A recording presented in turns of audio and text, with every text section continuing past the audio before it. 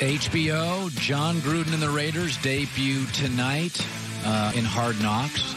There'll undoubtedly be a Cleveland story tomorrow with the Browns. Uh, the Cowboys made news again. Jane Slater covers the Cowboys for the NFL Network, and she talked about the ongoing Zeke negotiation. She said the Cowboys are doing their part, but Zeke isn't really doing his. It doesn't sound like, at least from the Cowboy side, that they have had a willing dance partner in some of this. It's my understanding what they're asking is close to Todd Gurley numbers. The, the Cowboys feel like that's a bad deal. They don't want to get in the business of starting with Todd Gurley numbers. They feel the Le'Veon Bell numbers are more appropriate, and that's been the rub here. Mm, yeah, he's in Cabo, not returning phone calls. We'll see. By the way, that camp Greg, that's up by your house, isn't it? Isn't that about a 45 minutes from your house? Yeah. No, it's actually about a half an hour. It's only a half an hour from your yeah. crib? Yeah.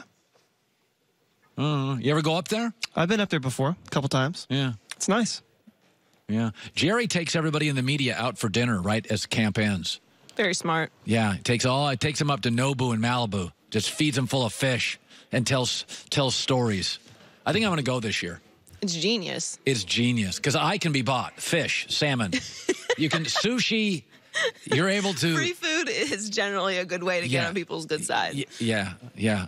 I haven't been invited yet. No, you didn't have to ask that right there on TV. I haven't been invited yet. Oh. I- I- but I would certainly go if, if I was invited. I would certainly go and say, and you love fish. "Oh, I love fish." Well, you go, I grew up on a beach. Yeah.